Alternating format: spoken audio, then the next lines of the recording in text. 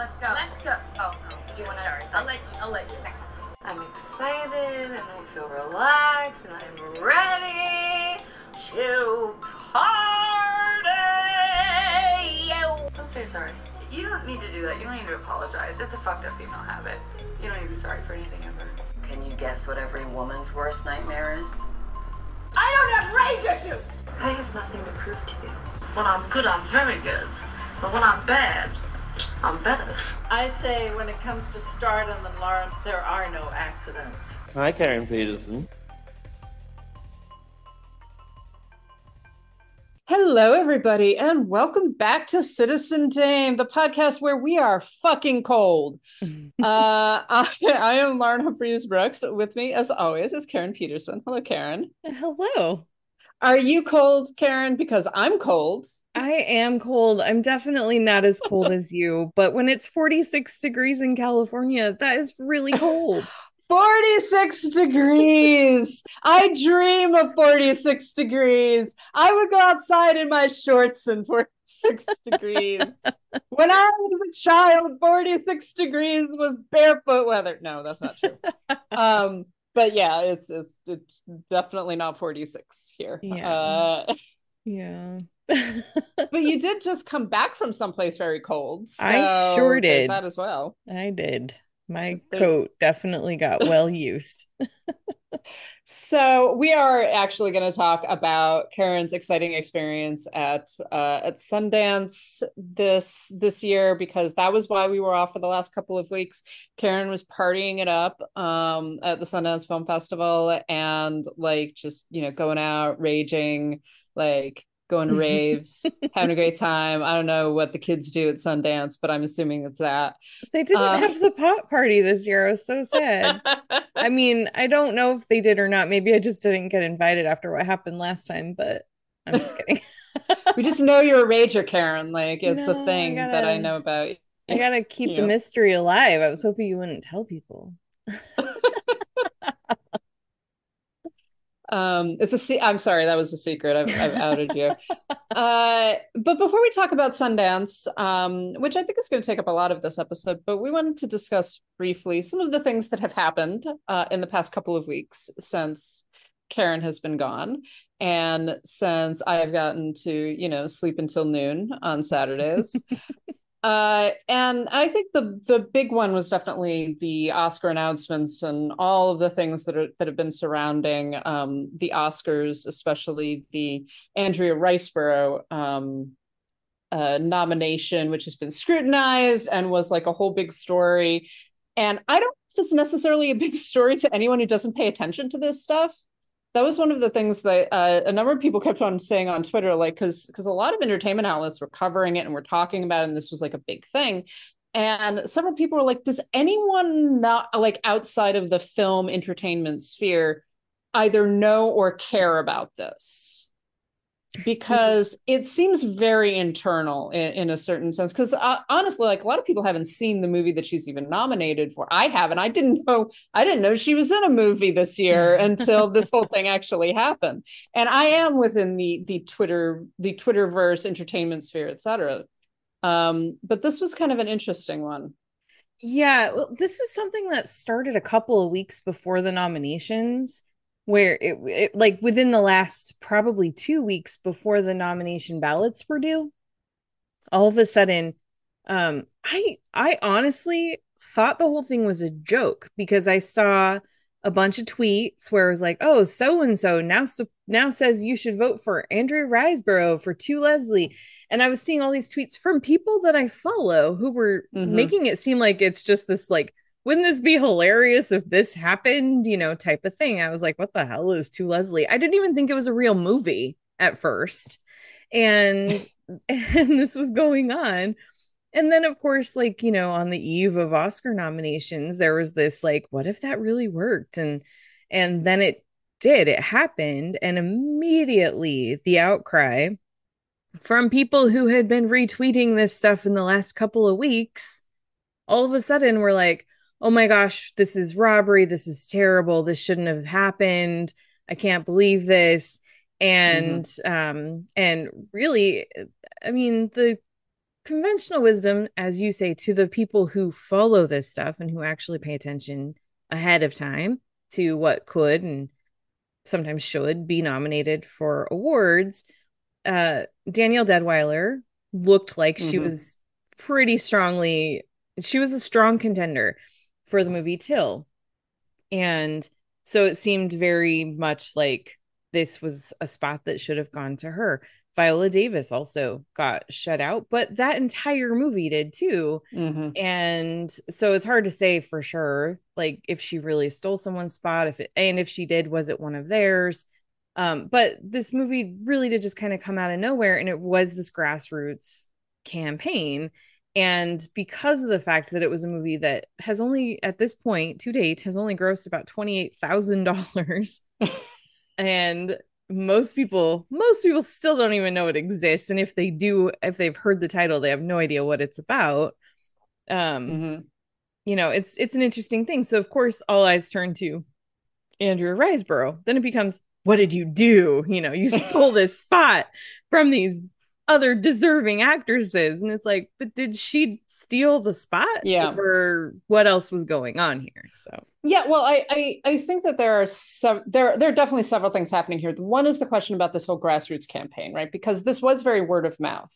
Like I say, I hadn't heard of this film or or anything. And then suddenly everybody began talking about Andrea Riseborough, and I was honestly like, "Wait, who's Andrea Riseborough?" and she's a good actress. And according to like most people who have seen this film, it's a good film. She does, and she gives a good performance in it.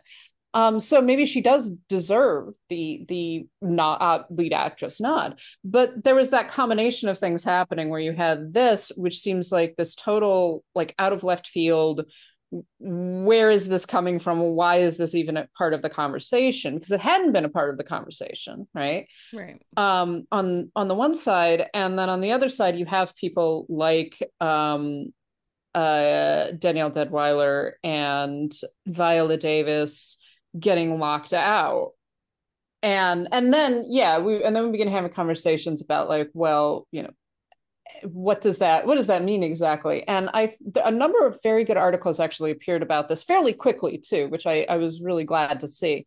Um, one of them by by your friend Clayton Davis and uh, another by our patron Robert Daniels, um, and and both of them focused on the fact that this that the argument about Riseborough is there's a bigger argument that really needs to be had, and it doesn't have anything to do with Riseborough locking out Daniel Deadwyler, um, Danielle Deadwyler, or uh, Viola Davis, but in actually the way that the Oscars in particular have locked out Black women, right, and and that's one of the things. And they both wrote fantastic articles that actually go into you know the the whole the systemic racism that we know of, the systemic racism and the systemic sexism of the Academy nominations that have nothing to do with, you know, whether or not Andrea Riseborough deserves, doesn't deserve, should have been campaigning the way that she was, shouldn't have been campaigning the way that she was.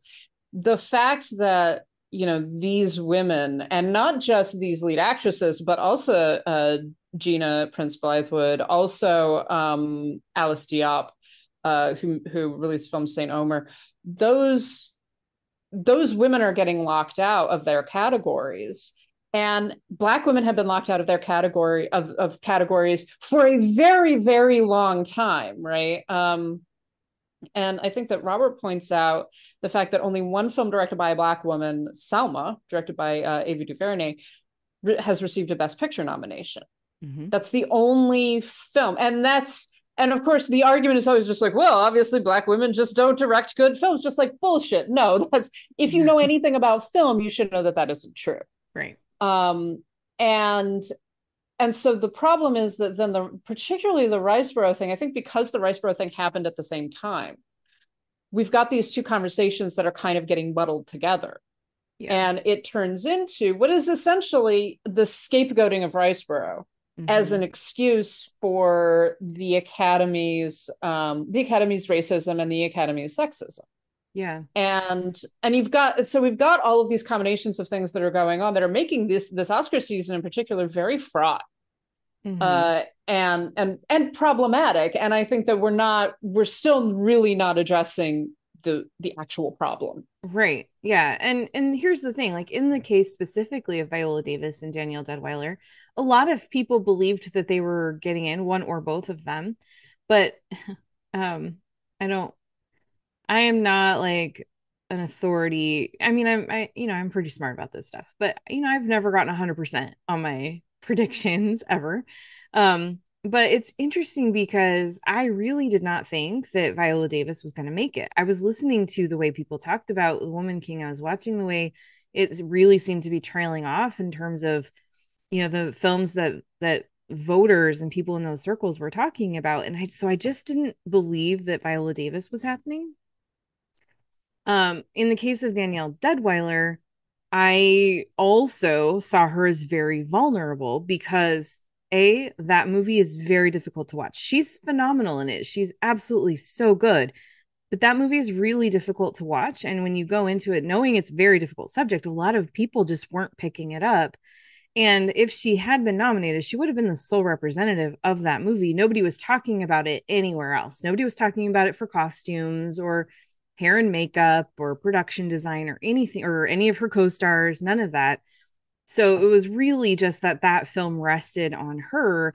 And when not an, when i really thought not a lot of voters were going to actually seek it out and watch it i thought you know and i even had conversations with people who are well placed to have even more of these conversations.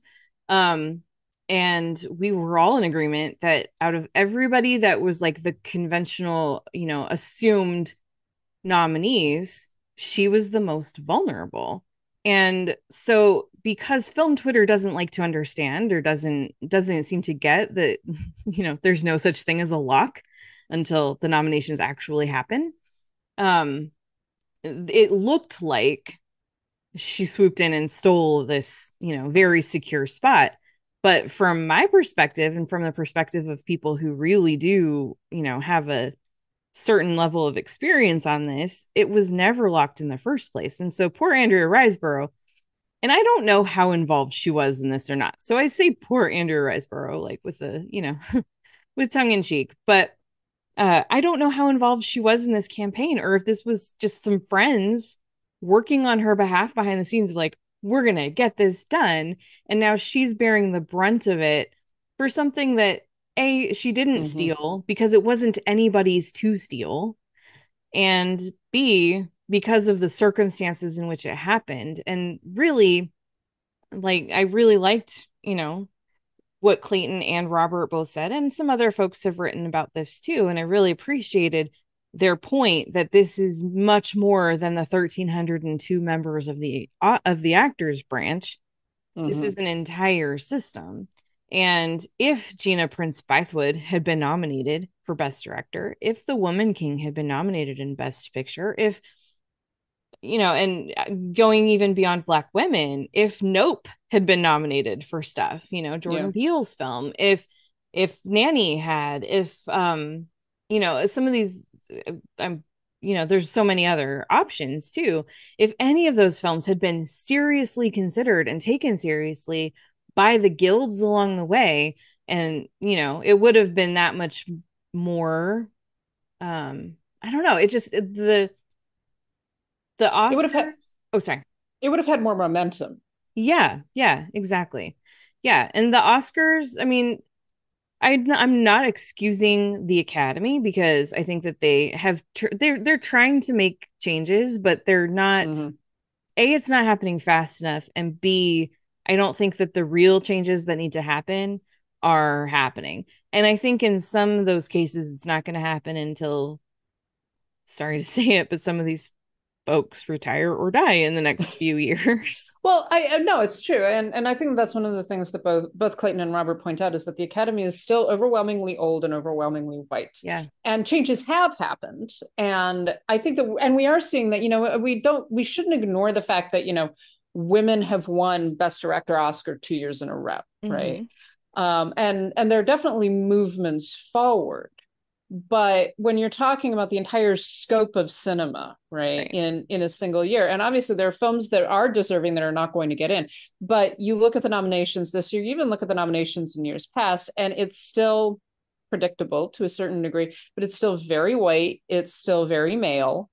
Um, and and the the other films that do get in are good and they're shaking things up and as as are the uh the other like acting etc nominees but it's still not like you say it's still not going far enough. And i i do think that it's a good point that um and this is a point that robert also makes in his article is that most of the actual guilds are not rewarding black women right, right. they're so the director so he points out that the directors guild of america has never nominated a black woman in its main feature category um, that critics organizations still still struggle with nominating black actresses and um, black and black women generally. So it's and i think that that's what it comes down to when you're talking about systemic racism and systemic sexism. It's not just talking about the academy per se. It's talking about the entire system. Yeah. Um, and all of these things are a part of the system right, right. and so you know, I, I mean, we're we're also talking about the fact that Michelle Yeoh is uh, the first the first Asian Asian, mm-hmm. right? That's a big, that's a broad category right yeah. there. It's like half um, the population of the world is Asian. Yeah, wo- woman to receive a uh, a Best Actress nomination since Merle Oberon. Merle Oberon, who by the way basically had to conceal her own heritage in order to to be an actress at all right. Mm-hmm. so so like even merle oberon has an asterisk next to her right. because a lot of people because people didn't know that she was of asian descent at all. Mm-hmm. yeah. Um yeah, exactly. Well and and the other point that clayton makes is and i think robert did too where are the grassroots efforts for these women? Like okay if the guilds are going yeah. to shut them out where was the grassroots effort to get gina a nomination?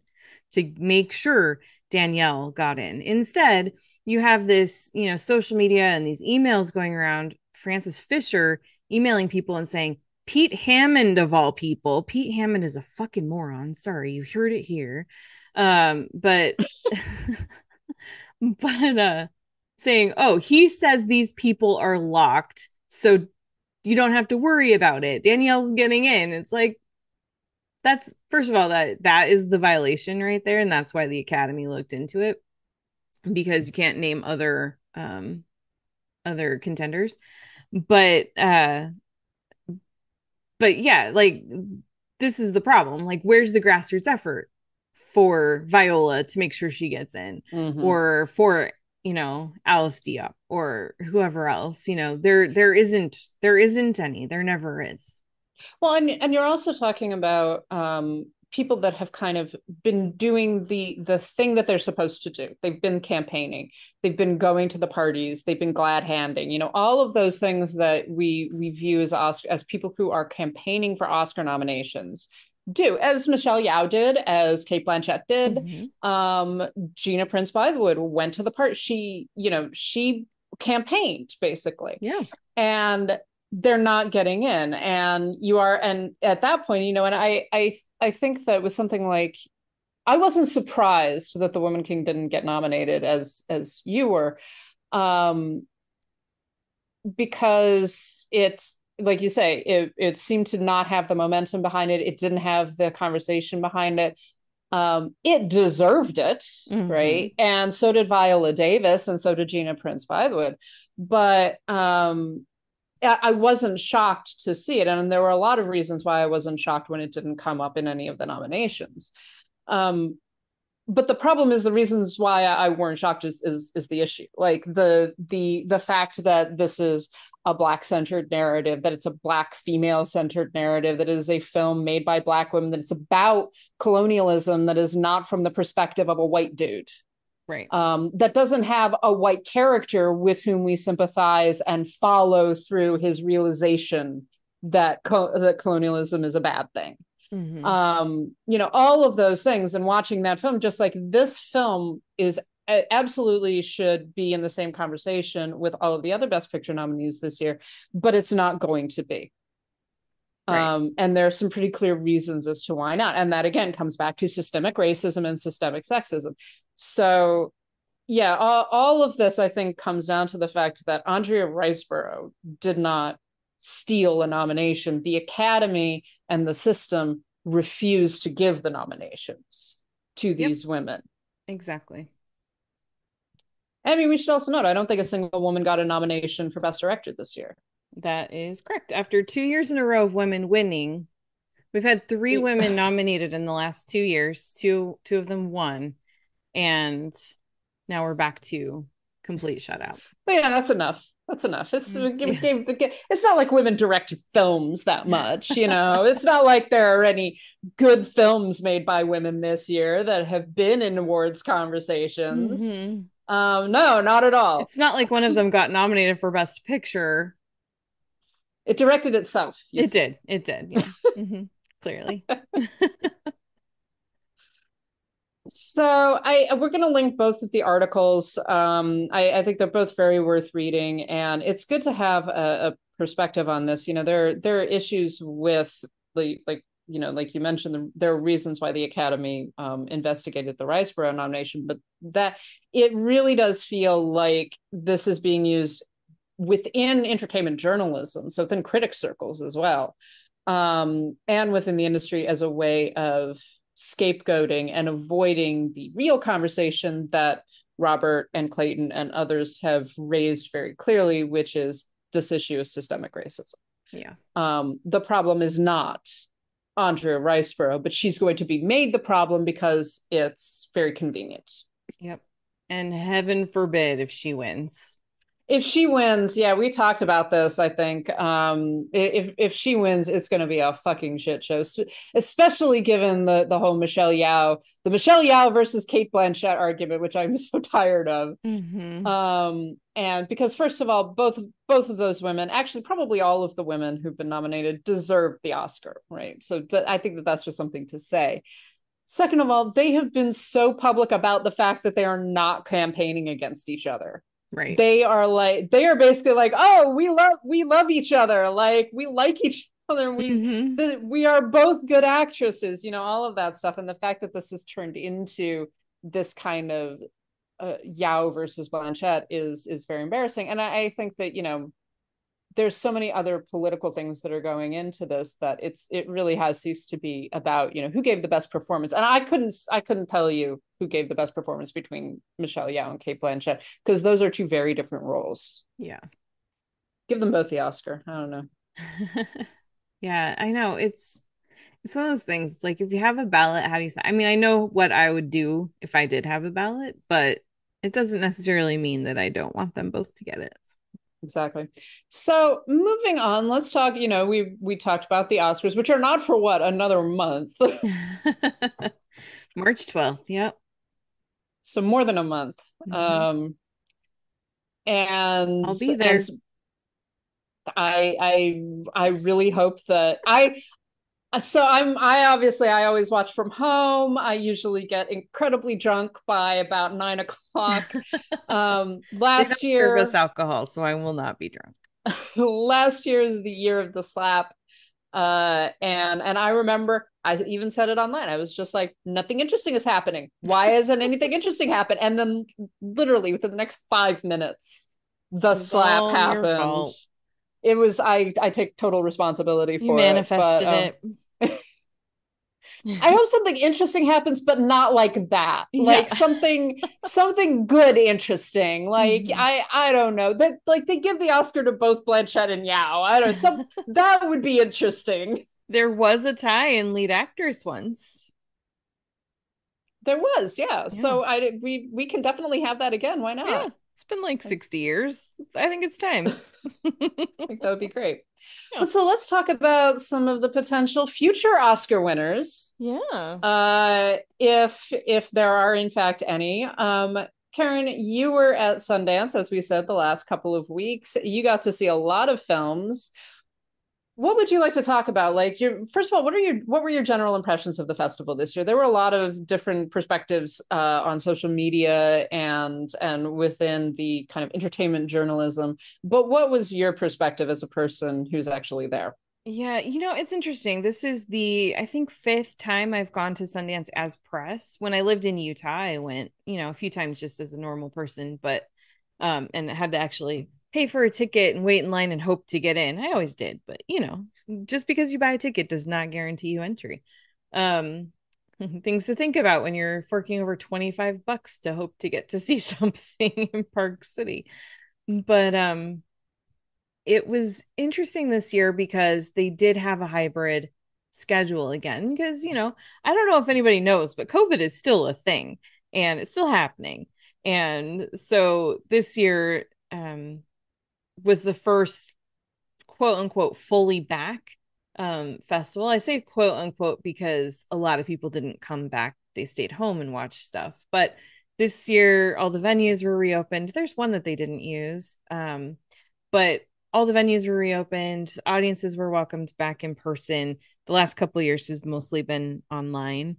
So um so it was fun to to get to be, you know, in those venues again um that were sometimes not any warmer than outside or at least not much. But um uh but it was just it was interesting because of the fact that so many especially press people stayed home and got to cover it from home and got access to almost all of the exact same movies that that we did be in person. Um there was just this weird it was it was a very muted festival like there were still people there was still traffic but the shuttles were almost never crowded. Every time I got on a shuttle, I got a seat, um, which is unheard of, especially in the first weekend of this, you know, 10 day fest. Um, I got, I had a limited badge. I got into everything I wanted to watch. And then it was like, once it was over, you just talked to maybe the couple of people that were sitting around you, or else not anybody. And so the festival buzz and the festival hype that we're used to was really really quiet this year which made it for overall kind of a weird a weird experience i you know i was there with some friends um you know that i went to most of my screenings with and we would talk amongst ourselves but it just it felt like you know i wasn't in line really chatting with people like i normally would be um you know, not really talking to a lot of people on the shuttles and things or volunteers even. I ran into a couple of the same volunteers and we would kind of catch up on what, oh, what did you watch? Oh, yeah, I saw that. That was great. But overall it just it felt almost like this really insulated thing where we were kind of if you were there you were kind of isolated from the rest of the world and it was just this really like kind of quiet intimate festival which in some ways was kind of fun but in other ways was a little bit sad. I I mean it's it's interesting to to think about why this this is happening and I I I think that as as we discussed before we started recording actually this issue of the hybrid model um which on the one hand gives people a great deal of access right so you know people who cannot who could not go to Sundance right can actually see the films and review the films and things like that. And one of the problems with with Sundance is always that it is it's one of the less accessible festivals. Yes. both in terms of um, accessibility in terms of disability access but also just in terms of where it takes place it takes place in january first of all um, in a historically cold place mm-hmm um, that is not necessarily always easy to get to. It isn't a major metropolitan area. It isn't a major, it's not a major film hub except as the Sundance Film Festival. Right. So th- it's not like there are a lot of local critics or people, you know, we we talked about if you go to festivals in LA, if you go to festivals in New York or or even in places like Toronto, um, there's a local community that is a pretty big critical community, a pretty big um, film community generally. Sundance doesn't have that. And on the one hand, I think that that could be very beneficial to it and has been beneficial to it. On the other, it's less accessible. Right. Um, so the hybrid model makes it more accessible. It means that people can actually see these films. But then the flip side of that seems to be the um, the festival experience itself and more importantly, I think, because, you know, at the end of the day, film festivals are about films. Uh, more importantly, the um, the ability of these films to actually gain traction mm-hmm. and to get sold and to get seen. And yeah. the fact that you're not getting that kind of buzz um, because people either, you know, aren't there, the buzz is happening online, you're not getting the same like in-person conversation that that has the potential to be very problematic especially when we're talking about a time period where indie films need a lot of traction mm-hmm. and they mm-hmm. need a lot of attention in order to get that traction and to actually start moving into to you know potentially get released into theaters, get picked up by streaming services, etc. Yeah, Sundance is a market festival where um I mean some festivals really are just about hey screening cool stuff from around the the country from around the world from throughout the year but Sundance is specifically a film where independence and that line is getting blurred more and more every year but where independent films go looking for distribution they're hoping to sell so that they can find their way to theaters and streaming services later on in the year and one of the things that typically happens is you front load big premieres the first weekend. So from like usually Sundance opens on a Thursday night. And so from Thursday to Monday, they have just like all these big premieres and get the casts to come. The directors come and introduce their films. They do, you know, Q&As, they do parties, they do all kinds of stuff. And what happens then is you pack the theaters and, and usually a lot of these are happening at the eccles which is the biggest venue in park city uh, in terms of number of seats and so you pack that place with people you show them this movie and then they're talking about it the rest of the week you know and they're they're on the shuttles. Oh yeah i saw this. It was great. Have you seen that? You know they're talking about it in line. They're talking about it everywhere they go. They're talking about it on social media. And then what happens is those films that are coming sometimes movies already have distribution before they come to Sundance. Like it happens sometime in between you know getting accepted and and actually showing occasionally have a movie that uh, already has a distributor like way before Sundance ever comes along but that's that's rare. It's increasing but um but mostly it's movies that are looking to get picked up. And so what happens is then they premiere everyone's talking about them and then the the reps from the studios uh, that are there with you know cold hard cash in their hand looking to sell it or spend it um they hear the movies that everyone's talking about and they're like okay i need a meeting with that director. I need a meeting with these people the producers whatever. And so then they start the bidding and then you end up with these you know auctions for these titles. This year it really there were only there was only like one movie that that really happened with because of the fact that so many people were not there and the movies that people were talking about were so few so it was just like uh, there are still a bunch of movies that i totally thought were definitely going to get picked up that haven't yet they're still looking for distribution which is so surprising to me because some of these are really really good and it's just I don't know. It's it's very strange. It's very strange, but mm-hmm. uh but yeah. Uh just for you, I was just curious and we'll we'll I'll get to talking about some of the movies I saw in a second, but um I was just curious for you watching Sundance kind of play out on Twitter. What were your what were your impressions watching it from not there? Well, I, I I did have to say, you know, I was actually thinking about this even as as you're talking. I was just like, well, the twi- the Twitter world is changing as well, right? As as a result of you know some things that we've talked about uh the last year. Um, and so you know what I see on Twitter, and this this was always true of Twitter, but what I see on Twitter um, is different from what another person sees, right? Because it's about who I follow, it's who I'm blocked by, um, who I have blocked uh you know so so there's there's a very specific way that i think you know every every person on twitter engages with it. But obviously you know i see if, if something begins to get buzz you see that. Um you see more and more people tweeting about it et cetera it eventually filters through. One of the things that i thought was very interesting just in terms of the quality of films right? Regardless of you know I, there was definitely not a hype a festival hype going on that was the same um, as I've seen in previous Sundances. And I'll be interested to see if this carries over to some of the later film festivals that places like Toronto or Cannes, um, if the same kind of hype doesn't get going on social media.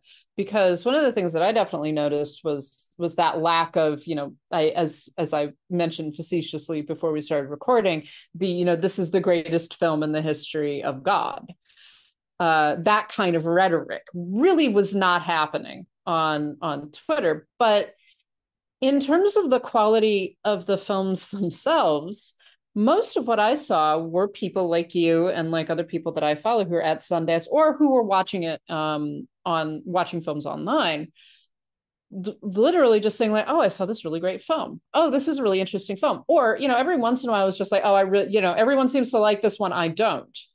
Um you got that a little bit but for the most part my impression right and this was my impression based on the people that i follow etc um my impression was that this was actually a pretty good festival that there were a number of films that actually deserve consideration deserve as you say distribution deserve to be seen.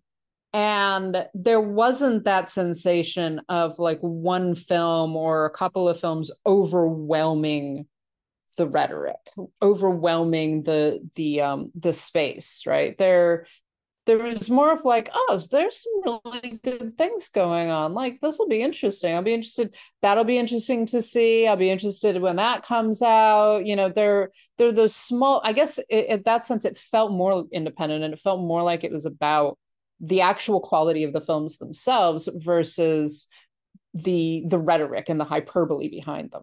Mm-hmm. yeah that was that was my experience. I well and i it was it was good to see you talking about some of that on twitter because um and we you know we messaged a little bit during the festival but i was so busy watching movies i really didn't have time time to talk to people. It's kind of nice because i saw 20 films at sundance this year and jesus. plus i saw six shorts. I watched um i watched the midnight short package um, which had six films in it but um yeah i saw 20 films i was there from friday to basically friday through the following um saturday and saw a lot of movies and it was good um but it was interesting because I was watching, you know, I was seeing some people on Twitter say, like, oh, there's nothing good at Sundance this year. And I was like, it's been three days and I haven't seen anything bad yet. so well, I was like, I don't know and, what anybody's talking about. and and that's the thing. And and I, I I think I said in my in my way of like, you know, burning all of my bridges with everybody that I've ever spoken to, is that if you think that this year's Sundance is bad, maybe you're just following miserable people. Yeah. Because most of what I was seeing was very positive. Every once in a while there was like a few like, you know, oh, I didn't like this film, but for the most part, it was very like you know hey this th- there's so many good films this year. Mm-hmm. and and so when i saw those people being like oh it sounds like sundance sucks this year just like who the fuck are you talking to? Like do are, are, you just like you're just a mis- you just follow miserable people obviously because all the people i follow are having a great time. Yeah yeah. And it was it was great. It was fun. Um i will say so now this is where i'll start talking about some of the movies i saw. Um yes. the biggest seller of the festival was a movie called Fair Play, and uh, Netflix bought it for 20 million. It's I was actually kind of bummed that Netflix bought it because I think, you know, Netflix tends to disappear things. No matter how much mm-hmm. they stand behind it, like stuff just goes on Netflix and kind of just vanishes, you know? Um, I was hoping that Neon would buy it and they were in the they were in the the bidding wars.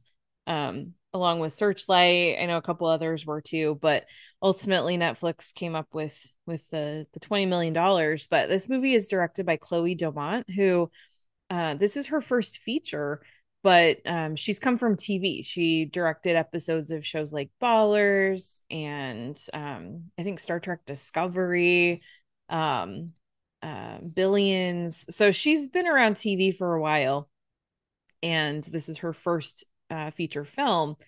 And this is one that I think people are going to hear that price tag. And I think they're going to have maybe some expectations that I don't know if this film lives up to them or not. I'm not sure. Um, I thought it was a really great film, but it's not like world changing. Wow, yeah, it makes sense that they paid $20 million for this movie. So I think this is going to be the one film out of Sundance this year that people see it and they're just like, wait, how much did this cost? I don't know. It'll be it'll be interesting. But um but it's good. And what's good about it, and you can read my this, I, I still have some reviews I'm trying to finish doing, but this is one of the ones that I did get to um this is a movie that could have just been this like relationship drama about this couple who mm-hmm. just got engaged but they have to keep their engagement a secret because they work at the same corporate hedge fund. And um they're not allowed to date you know it's like against corporate policy. And um so it could have you know and then there's this like promotion that comes up and she gets it and he doesn't. And that is a challenge, you know. And so it could have just been this relationship drama about this couple trying to like figure that out. And this is something that a lot more people are experiencing in in life, you know, as more women are promoting up in these companies. But Chloe Domont didn't do that. She turned it into a thriller. And that was actually such a fun way to do it. And it turns into this this like you watch this this white dude played by Alden Ehrenreich, who is great in it. Um, just watching him unravel as things go on and um and just seeing kind of this it's not quite cat and mouse but just seeing the way the two of them navigate this situation in a way that is not just a not just a drama but really has some like intense stakes to it I thought it was such a fun choice. And I think this is an entertaining movie. I think it does have some smart things to say. But I think once people actually watch it later in the year when it's on Netflix, I just really don't know what the overall reaction is going to be. So, one of the things that I was interested in actually was was um, when I initially saw your review uh and and i think you had even mentioned to me like oh here's a this is a film that you want to watch for right? This is this is one that you're going to like. And i was like that sounds good. And then i saw a number of different responses that did not like the film. Um and and i i don't want to make generalizations not having seen the movie. Do not know how i'm going to feel about it. Karen and i sometimes feel differently. I will just say most of those people who did not like it were dudes. Mm-hmm. and i'm just throwing that out there. I don't know what that means uh, but I, it is one that like um, based both on your review and on the description i think it would and the fact that it's a female director which as always kind of raises things in my perspective. Um yeah i'm looking forward to seeing that. Yeah it's uh i i was very entertained by it. I really am looking forward to getting to watch it again.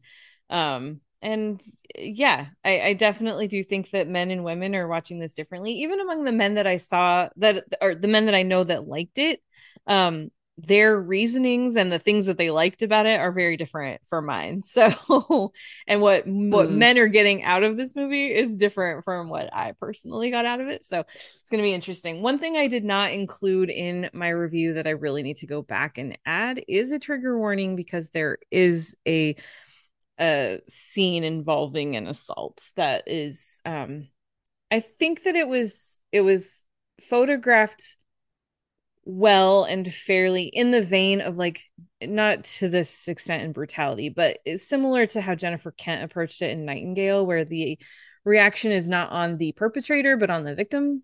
Um and and it's not fetishizing or sexualizing the incident at all but uh, that definitely does happen and i need to go back and add that to my review because i think people need to be aware that that mm-hmm. is something that happens in this movie so. Uh yeah let's see. Um so that was the big seller. The other uh the other movie that sold for almost as much it was just a hair under 20 million went to apple. It's a movie called flora and son and this movie is just so nice. It's just a nice um it's uh it, so John Carney, he's the guy who directed Sing Street and Once and yeah. and again. Yeah. So he does these like just like really pleasant musical movies, you know. Um and that's what this is. It's this Flora is a single mom played by Eve Hewson and um she's a single mom who has a teenage son who is just such a little jerk. He's just such an ass hates her guts, but it's like you also kind of get why he feels kind of shunted between mom and dad who fight. They're divorced. Dad was in a band. Um, thinks he's so cool, but he's really just like a dipshit, you know. and uh, mom, uh, Flora, she finds a guitar that's just like on a scrap heap, and she pulls it out, gets it fixed up to give to her son, but he doesn't care anything about it. So she decides, you know what? I'm going to take guitar lessons. And so she finds an online teacher and it's played by he's played by Joseph Gordon-Levitt and um it's just it's just really sweet and watching the two of them get to know each other watching the way that the way that their lessons are filmed because he's in America and she's in Ireland and watching the way that that um kind of they get to know each other is it was clever and cute and just it's just a sweet movie and that will be going to apple sometime soon Oh, good. yeah so Good. yeah So were there were there any others that like maybe that didn't get picked up that you were like, oh, I really hope that this gets traction eventually? Yeah, um, there's one that has not gotten bought yet that I really think if it gets purchased by the right studio, this is this is a movie called Magazine Dreams. Another one that is very divisive. Um, I think if it gets bought by the right studio with the year that Jonathan Majors is about to have, I think that this could do something for him later on in the year. I'm not predicting Oscar nominations because we know how the Academy is, but um, it, it- you know, it could be definitely a movie that finds its way into awards conversations. Um, it's he plays this guy who is um, basically an incel, um, which is interesting to see this kind of character as a black man instead of, you know, we typically see them as white men. Um, and so it's interesting to see that it adds some layers because he, you know, he lives in a food desert. He, you know, he's out for a run in his own neighborhood and kind of gets a little bit harassed by cops. You know, he's in the grocery store where he works and makes customers uncomfortable just by existing, you know. So there's these extra layers. Uh he's not just this like weird guy who's obsessed with bodybuilding, which is Mm. part of it, but there's just these extra layers that he has to struggle with and deal with because of the fact that he's a black man, you know. And um and so Jonathan Majors is fantastic in this performance. It- he's basically this guy who works at like his entire life. He he works so that he can afford to, you know, supply his or pay for his his hobby or his, you know, passion, which is bodybuilding. And his dream is to be on the cover of bodybuilding magazines. And he's obsessed with this one particular bodybuilder. And um there's so much you know there's so much depth that majors specifically brings to this character that just makes it phenomenal. And i i am just surprised that it hasn't been bought yet it's it's very strange I mean, I I I, I recognize that name. I've heard some buzz about it, and it'll it will probably get picked up. It Mhm. seems, especially given given him and and given the fact that there is there has been buzz about it. yeah Um, but yeah, that's that seems pretty surprising as well. It sounds interesting though. yeah yeah it's really good he is he is really fantastic so um i i just i want people to see it because i want them to see how good he is and what he can do Mhm. you know um i'm just looking to see because a few other things have finally been been bought like in the last couple of days so i'm like just checking to see what else is still waiting um I saw a really sweet, I don't know what'll happen with this movie, but I saw a really sweet documentary called Joonam. And this one was surprisingly, I, not a lot of people saw it, but among the ones that did, this was surprisingly a little bit divisive too. Um, it's this, uh, it's a documentary by this Iranian, uh, well, she's American. She grew up here, but her mother and her grandmother are Iranian. And, um, so she has a Persian background, but um, her mother came to the United States on a student visa back in 1979, right before the the fall of the Shah, and then eventually her grandmother uh, came to the United States too. And so basically, this woman Sierra, she's trying to get to know her roots. She's trying to connect with where she came from and she feels this longing for Iran. She really wants to go and see these places that she occasionally hears her mom and her grandmother talk about. Um, but she's trying to connect with them to, so that she can understand more about her heritage and kind of fill this this gap that she thinks that she feels is missing. And so it's just a really sweet documentary. It's funny.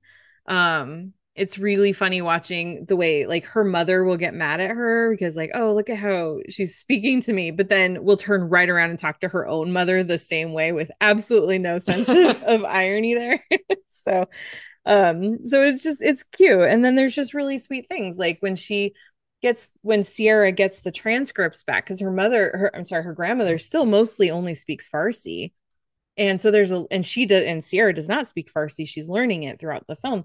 But uh, when she gets the transcripts back and sees some of the things that her grandmother had been saying throughout the whole experience that she didn't know it's just it's just so sweet and like it's just this way that Hmm. she gets to know her grandmother in a, in a different way that she never did before so i really liked the film a lot um Huh. That's interesting. yeah i i thought it was i thought it was really good um it's a it's another first feature this is another thing about sundance this year is they always do you know they always have a pretty great slate of first time filmmakers this year Mhm.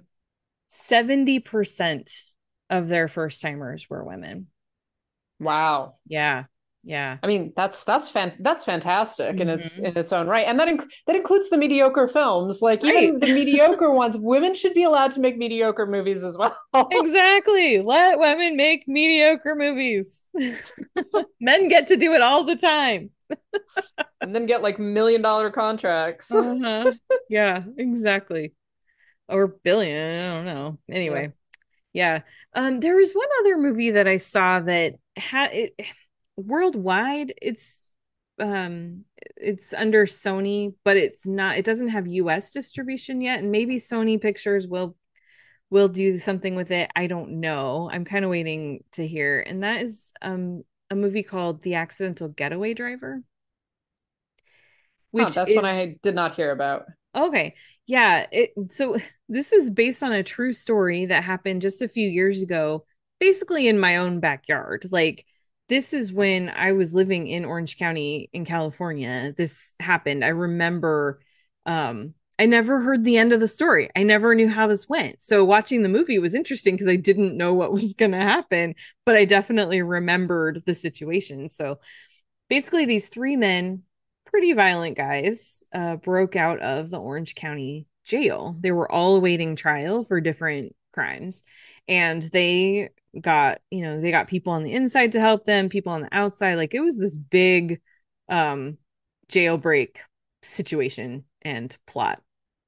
And then what happened was, um, so in this particular part of Orange County, there's an area, a neighborhood called Little Saigon, and they have like a little newspaper. And so there was this sweet old man who used his own car basically as an Uber, but he wasn't registered through Uber. He just had it, you know, like had an ad in the little paper. I'm the I'm a taxi driver. Call me up. Here's my number.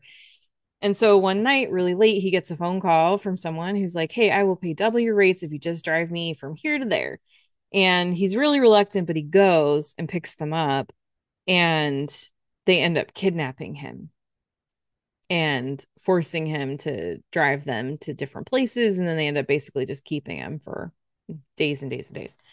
And um it's it's a really the way that the film itself is done, it's not just like it's not just a thriller that's like, oh my gosh, this guy's kidnapped, he needs to get out of it. It's not like that. It's um it's a kind of the flip of fair play where it could have been just a thriller and instead it's sort of a relationship drama too.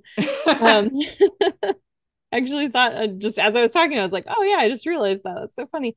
Um but uh but yeah, so it, it you know, it gets into him really trying to connect with his kidnappers and um and also it addresses some of the the traumas in his own life because he was a Vietnamese immigrant, you know, and he Mhm. a lot of his family came here um early on when people were were leaving Vietnam and coming to the United States. And so they were able to find prosperity when they got here because they came early enough but he came later and never really was able to to make it. You know he was always struggling. And so it gets into to that experience. And it's just a really um I don't know. I just I really liked this one. Probably partly because I felt so connected to it because I was like, "Oh, I know exactly where that market is. I've been in that store."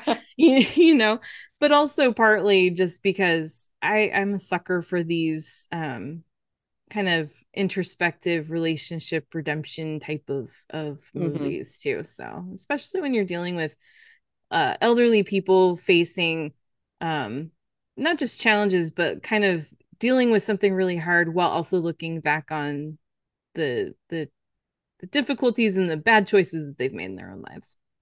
Interesting. Well, that that one sounds really interesting. Yeah.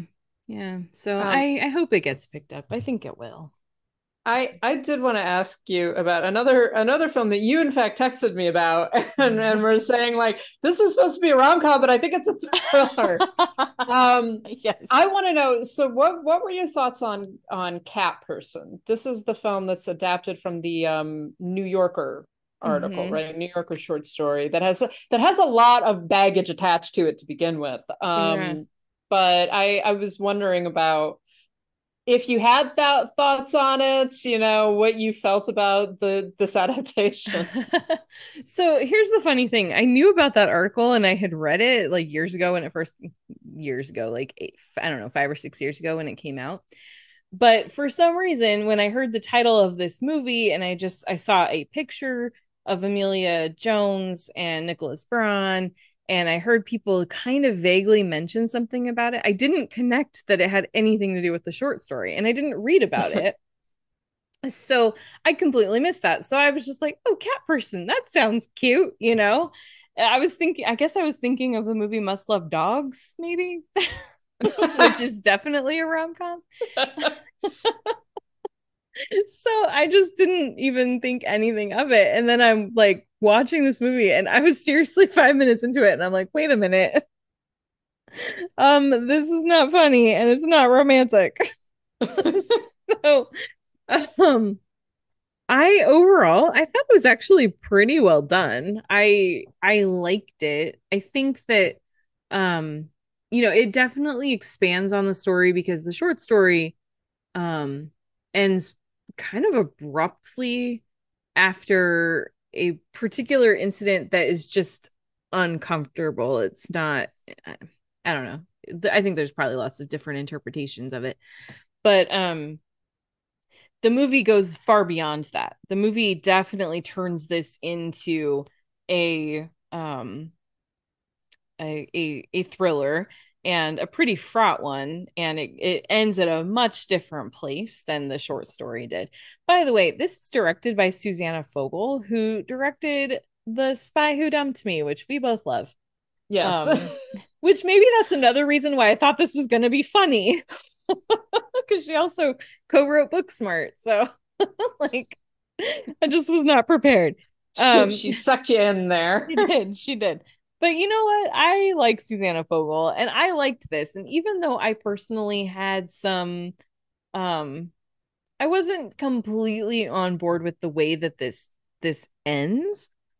I really enjoyed it. I think the way that she lays out um the story, the way she builds the tension, the way that she um really does make you constantly guess and question like am I overthinking this? Is that person really being as weird as I think they are? Like she really taps into that that that uncertainty that so many of us have when we're dealing with someone that we don't really know, especially in a dating situation. And, you know, the way that we overthink things, but then we overthink it so much that we start to worry that we're underthinking it, you know.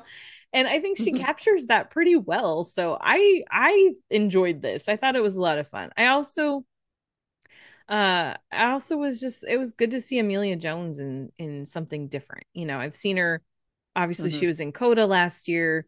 Um I saw her in two movies at Sundance and the I thought she was much better in this one. I thought it was better suited for her. The other one she's in is Fairyland, which is also a good movie. Um, but I didn't think she was quite right for that film. But this one, um, I thought she was I thought she was good. Nicholas Braun is good. It's fun to see him break out of the um uh cousin Greg severance or not severance, um um succession uh character a bit. So um yeah, and then Geraldine Vis Viswanathan um plays the roommate. She's she's really good too. I love her. So it just uh I don't know. I I enjoyed this. It was not what I thought it was going to be, but uh, that turned out to be a good thing, I think. Good. I definitely had some questions, and there were definitely some things that I was like, uh, I probably would have handled that a little differently. But overall, I enjoyed it.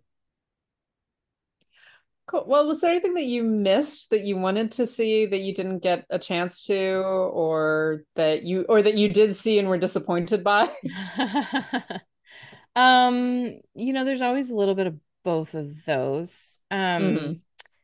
let's let's see. Um one of the big ones that I wanted to see and didn't get to was it's actually going to be in theaters pretty soon. So I'll I'll get to watch it pretty soon and that is um Polite Society which um then yesterday I was watching Knock at the Cabin in the theater and uh, they showed a trailer for it. So I was like, oh, good, this is coming out even sooner than I thought. So I'm not gonna miss out on it completely. But um, it's the way I heard it described is it's sort of like like a martial arts version of a Jane Austen story. Oh, I know. I've seen the trailer for this as well. Yeah. yeah, and I don't know. That sounds fun. so so I definitely want to see that one. It's um yeah, it, Anita Manzoor is the director and um and uh yeah, I I don't really know much about it other than that it just looked like a really fun movie. I know there's something about um a girl who's basically trying to stop her older sister from having to get married and um yeah there's some martial arts involved and it's all women kicking ass and i sign me up for that Yeah, I, I heard someone describe it as as a Jane Austen fight club. yeah yeah So it's like, okay. that was it that. yeah definitely um the there was another movie i kept hearing about which is called Cassandro which stars um i think this is the one with um Gael García Bernal? Yeah. Um and he plays a gay amateur wrestler. This is based on a true story. Um this is a lucha libre story which i'm not like super big into wrestling. And i don't know that world at all but i heard really good things about the film. So um so i really did want to see that one. Um just trying to think what else um other than that i feel like most of what i got to see i i you know i really wanted to. I got to see the new Nicole Holofcener you hurt my feelings with uh, julia louis dreyfus and tobias menzies. I loved it. Thought it was really really good. Oh, good. um yeah i got to see Cory Finley's new movie. He's the one that directed thoroughbreds a couple years Oh, ago. yeah. hmm um and both of these already they came to the festival with distribution. So Mm-hmm. um but that one is called landscape with invisible hand which is such a weird title. I almost skipped the movie but my friend said hey Cory Finley directed it. And i went oh okay i'll go. And i'm glad i did. I loved it. It's like this weird little sci-fi movie um about aliens who have basically arrived and instead of fighting with us and trying to kill us they take over our economy. And um which seems more realistic to me. I don't know. Anyway no it's a really good um it's a really good metaphor and a commentary on colonialism and capitalism and uh how the kids are gonna save us all basically. So yeah yeah i really liked that. Tiffany haddish plays the mom in it and i recent issues with tiffany haddish aside or potential ones aside i will say it is nice to see what she's able to do when she has a director who knows how to direct her. Hmm, um because i've seen her in stuff where i'm just like oh like i i know other people felt differently. I hated what paul schrader did with her in card counter. I hated card counter anyway but i really thought she was not good in that. But seeing her in this one it's like oh she's acting and she's doing really well and she's doing some dramatic stuff that's working. So um yeah but um yeah uh trying to think what else what else i wanted to mention um were there any other movies you heard about that i haven't really talked about No, I think that you've covered most of the ones that like I had questions about. I think Fair Play was a big one, the Nicole Holofcener.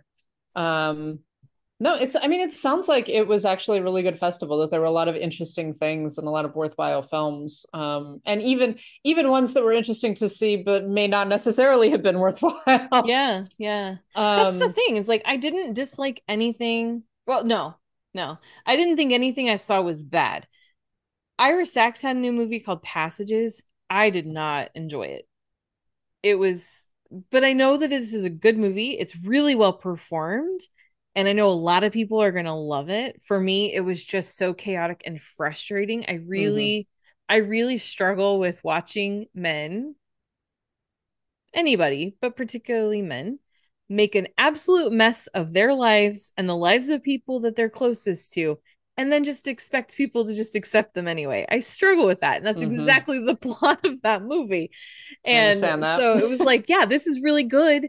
These actors are great, but oh my gosh, I want to punch this guy in the There are far too many films like that. Honestly, when you you pause, you pause there. I struggle really with watching men, and and then I was like, is that is is she is is that it? So then he went on. and I was just like, yep, same, same. Sometimes Yeah. just like I do. I also sometimes really struggle with watching men. I'm just like they're just so they're just there being being men. yeah.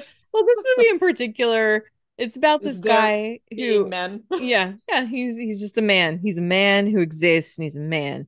Um, but no, he's he's married to Ben Whishaw. Like he's gay and he's married to a man. And then he meets this woman who just kind of rocks his world and he goes off and has an affair with her. And then he comes home and he tells his husband and expects his husband to just be like, Hey, that's awesome. And his husband's just like, What? what are you talking about? And then he decides he wants to go be in a relationship with this girl and leave his husband, but he wants to be able to come back to his husband anytime he feels like it. It's like, no, stop it. like, what are you doing? Oh, Proof that men can ruin shit, even for other men. yep, it's true. It's true. Yeah. But anyway, so yeah. I guess that's kind of refreshing to see a gay guy be just as toxic as a straight man. Yeah, watching him get to be messy and toxic and frustrating and again, really really great performance. He was fantastic. Mhm. It just for myself personally, it was just like, dude, stop it. There, there are films like that. I think.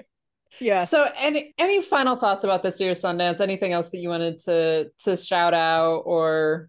You know, I saw some great I, I just I when you see that many movies, there's just so many all right, Yeah. always stuff to to talk about. I saw some great documentaries.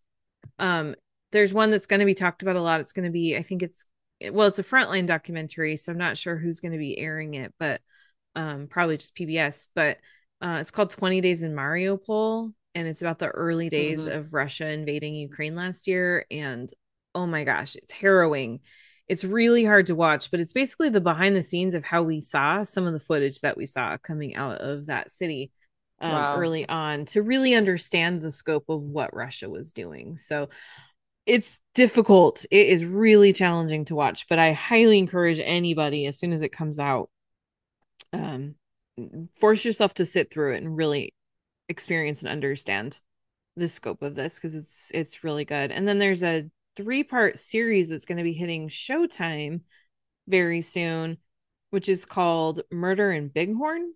And it's about the missing and murdered Indigenous women and Ah. how Bighorn County, Montana is like the highest, you know, um, percentage, I guess, um, of instances of women going missing in the United States. And um, really well laid out. I thought I did feel like it got a little bit repetitive toward the end, but uh, it really lays out the case of how this has been going on for so long and then sort of what the tipping point was to get this finally to to come into the consciousness of people outside of this very specific area and this community. So um yeah, I think it's really good. I think it's really important. I think people need to learn I learned so much about um just the statistics of of how many women go missing and the circumstances and what's happening and some of the reasons that this is happening and so I think people need to to check that one out too. That'll be on Showtime pretty soon, I think.